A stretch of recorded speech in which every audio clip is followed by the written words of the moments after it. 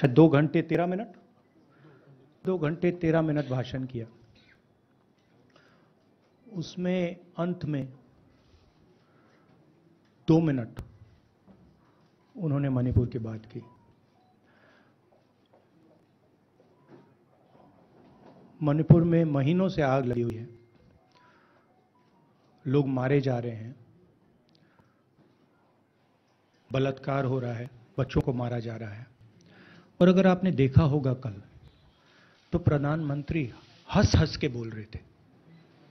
मुस्कुरा रहे थे, जोक्स क्रैक कर रहे थे, हंस रहे थे।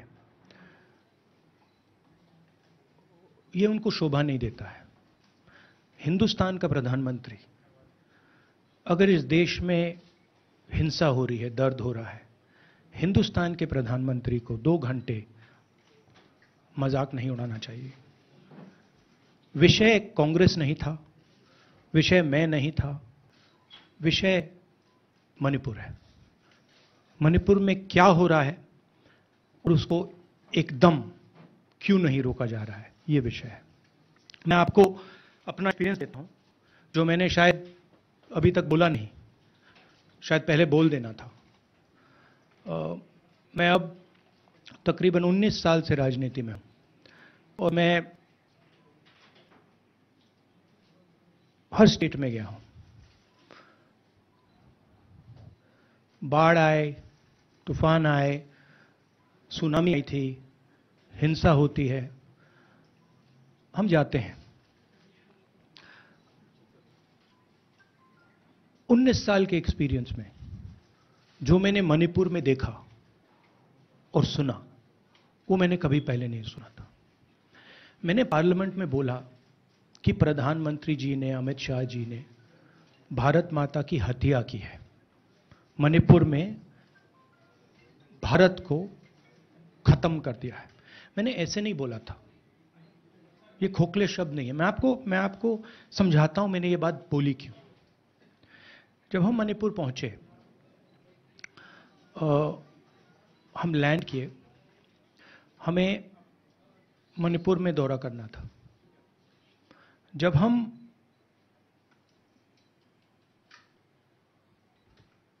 मेटे एरिया में गए, हमारे, हमें साफ़ कहा गया था कि अगर आपकी सिक्योरिटी डिटेल में कोई भी कुकी होगा, उसको आप यहाँ मत लाइए क्योंकि हम उसको मार देंगे।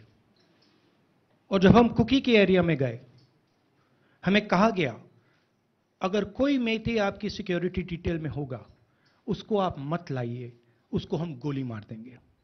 हम जब गए, हमें मेतेज को परे करना पड़ा, हमें कुकीज को परे करना पड़ा। मतलब एक स्टेट नहीं है, आज दो स्टेट है।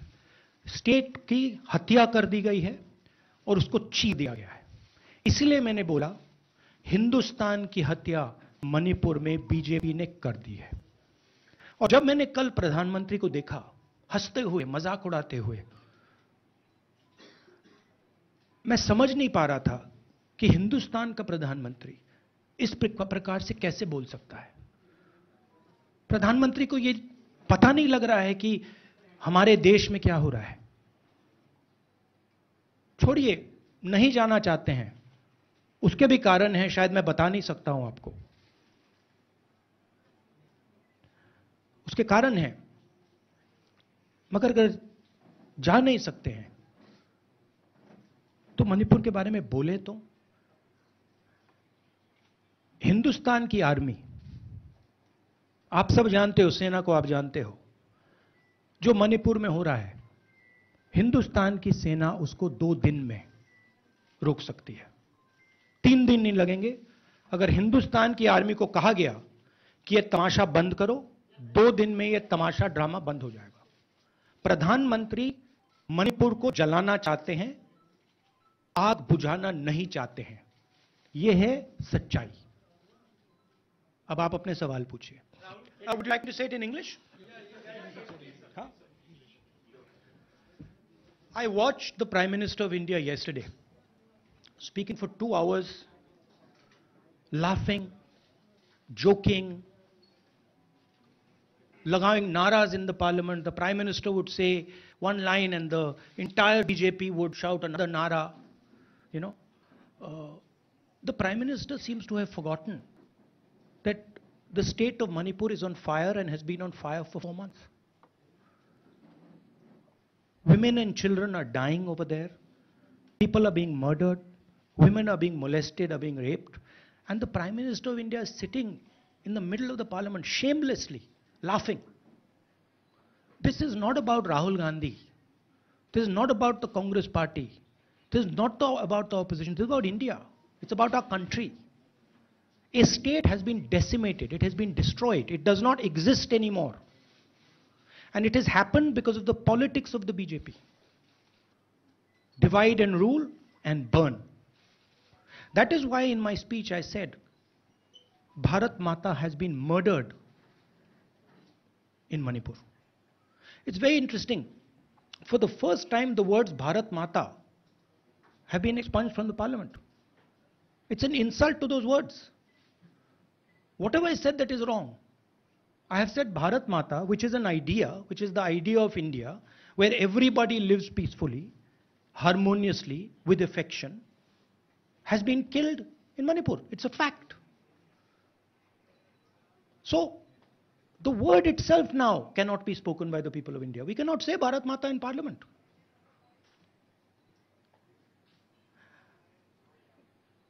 I want to tell you about my own personal experience of Manipur. I, I've spoken to you about, I spoke in parliament about the women I, I met, the pain I heard, but I want to tell you why I said India has been murdered in Manipur. And I said it because Manipur no longer exists as a state. A state requires control, a state requires authority. That is disappeared in Manipur. It does not exist. And I saw this with my own eyes. When we went to Manipur, when we went to the Meitei area, we were categorically told that please ensure we want you to come, we love you, but please ensure that if there are any cookies in your security detail, they do not come into our area or we will shoot them. When I went into the cookie area, we were told the same thing. We love you, we want you to come. But please make sure if there are any Meiteis in your security detail, we will shoot them. Do not bring them here. Before going to the Meitei area, we had to remove all cookies from our security detail. Before going to the cookie area, we had to remove all Meiteis from our security detail. When we went there, the security forces, central security forces, told us we have never seen anything like this. We were told it is completely outside our control. Okay? That is why I said Manipur has been murdered by the BJP and the idea of India has been murdered by the BJP in Manipur. I was not speaking metaphorically. I was speaking literally. Now, the Indian army, it will take the Indian army two days to put an end to the nonsense that is going on in Manipur. The Prime Minister refuses to stop the fire. He wants Manipur to burn. He allows Manipur to burn.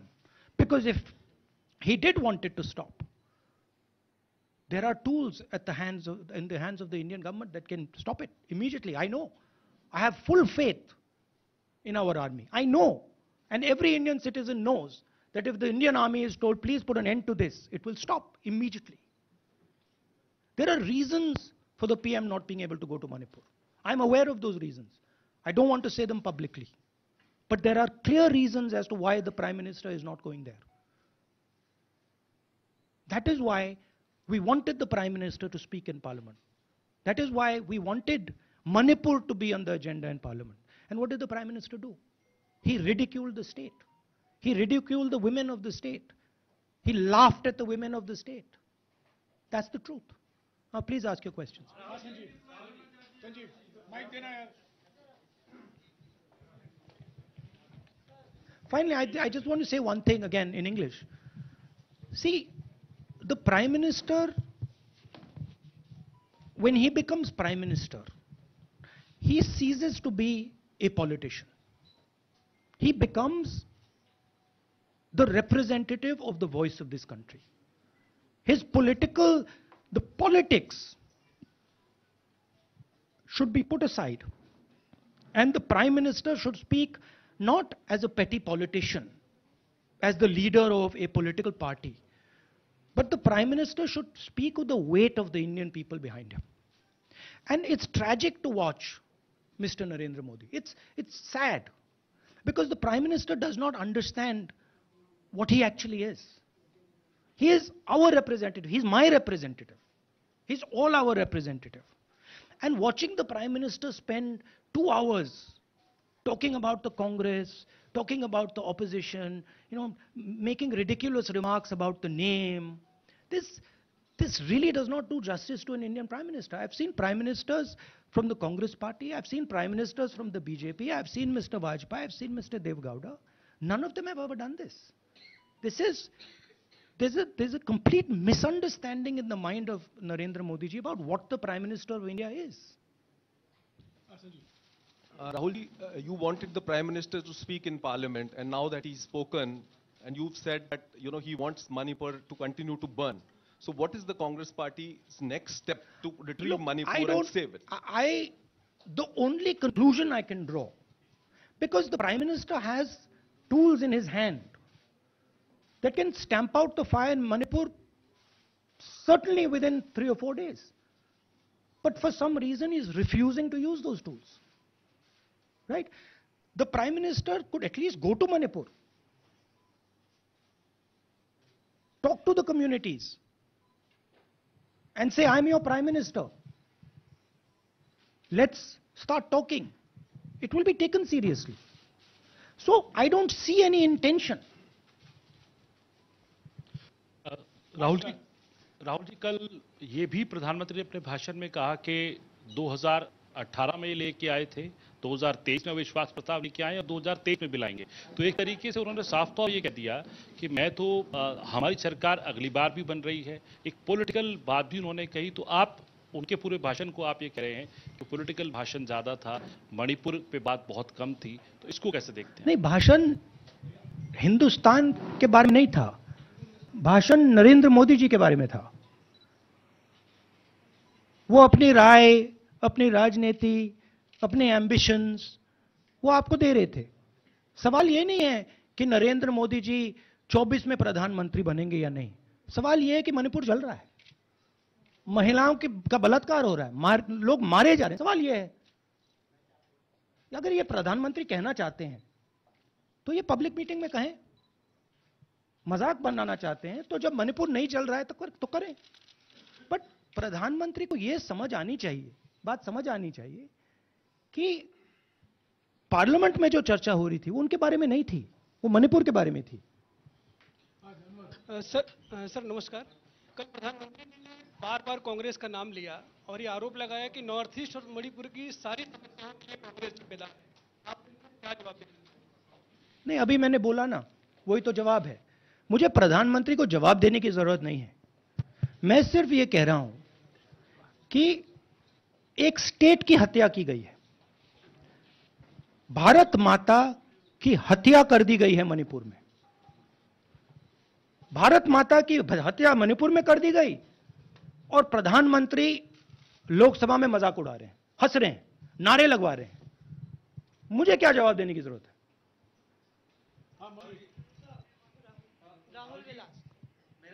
एक minute एक minute Mohit order से please Uh, Mr. Gandhi, you waxed eloquent about.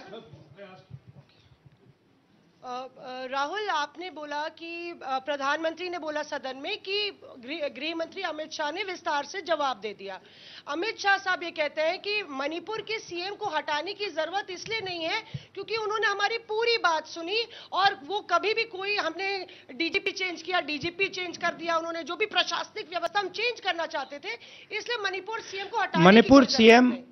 जब मैं मणिपुर गया Manipur CM ने तो मणिपुर में हज़ारों वेपन्स हज़ारों वेपन्स जो लूटे गए वो मणिपुर सीएम के नीचे ही हुआ। तो क्या अमित शाह चाहते थे कि ये हज़ारों वेपन्स लूटे जाएँ?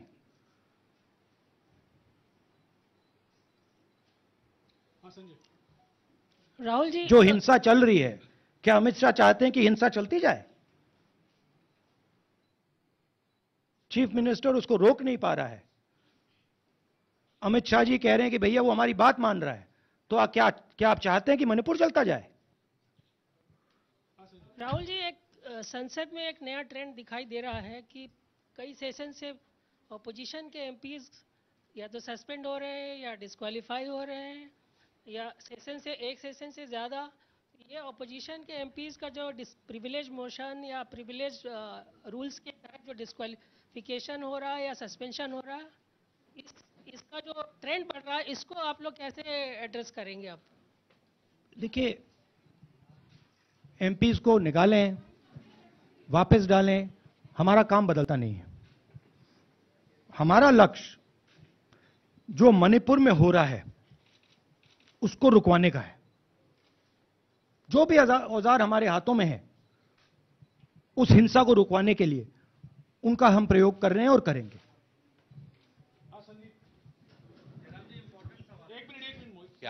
Mr. Gandhi, uh, you talked about uh, using the army, deploying the army to control violence. You spoke that in Parliament.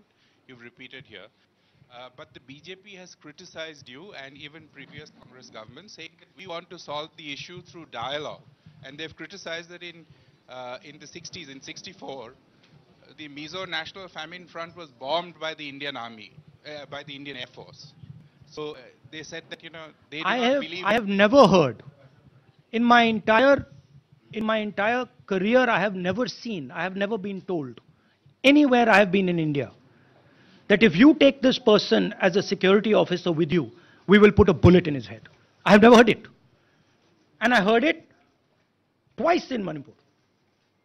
That means there is no dialogue in Manipur there is pure violence taking place in Manipur the first step is to stop the violence, put an end to it. I point out the army, but what I mean is that the prime minister has multiple uh, instruments in his hands.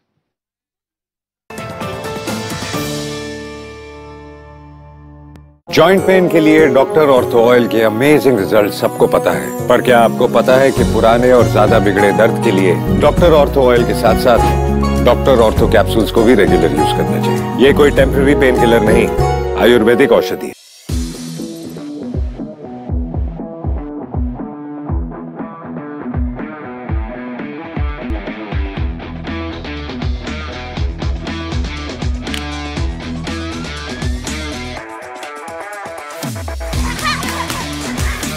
ਮੈਂ ਚਾਹੁੰਦਾ ਕਿ ਖਿਡਾਰੀ ਜਿਹੜੇ ਨੇ ਜਦੋਂ ਖੇਡ ਰਹੇ ਹੋਣ ਉਹਨਾਂ ਨੂੰ ਕੋਈ ਘਰ ਦੀ ਚਿੰਤਾ ਨਾ ਹੋਵੇ ਉਹਨਾਂ ਨੂੰ ਆਪਦੇ ਪਰਿਵਾਰ ਦੀ ਆਰਥਿਕਤਾ ਦੀ ਚਿੰਤਾ ਨਾ ਹੋਵੇ ਤਾਂ ਉਹ ਵਧੀਆ ਖੇਡਣਗੇ। ਬਾਕਸਿੰਗ ਦੇ ਆਧਾਰ ਤੇ ਮੇਰੀ ਬੇਟੀ ਨੇ ਸਾਡੀ ਜ਼ਿੰਦਗੀ ਸਾਰੀ ਬਦਲ ਕੇ ਰੱਖਤੀ। ਨਵੀਂ ਸਰਕਾਰ ਤੋਂ ਸਾਨੂੰ ਆਸ ਆ ਜੋ ਭਗਵੰਤ ਮਾਨ ਜੀ ਨੇ ਪਿੱਛੇ ਵਤਨ ਪੰਜਾਬ ਗੇਮਾਂ ਕਰਾਈਆਂ ਸਾਡੇ ਬੱਚਿਆਂ ਦੇ ਮੈਡਲ ਆਏ ਆ ਕਾਫੀ 11 골ਡ ਆਏ ਸਾਡੇ ਜੀ ਭਗਵੰਤ ਮਾਨ ਜੀ ਵੀ ਸਪੋਰਟਸ 'ਚ ਵਧੀਆ ਰੁਚੀ ਰੱਖਦੇ ਜਿਵੇਂ ਉਹ ਖੁਦ ਵੀ ਵਾਲੀਬਾਲ ਦੇ ਪਲੇਅਰ ਰਹੇ ਹਨ। ਸਾਨੂੰ ਆਸ ਆ ਵੀ ਉਹ ਪਲੇਅਰਾਂ ਦੀ ਉਹ ਸਥਿਤੀ ਨੂੰ ਜਾਣਦੇ ਆ ਵੀ ਕਿਵੇਂ ਇੱਕ ਨਾਰਮਲ ਘਰ 'ਚੋਂ ਉੱਠ ਕੇ ਬੰਦਾ ਗੇਮ 'ਚ ਆਉਂਦਾ ਗਰੋ ਕਰਦਾ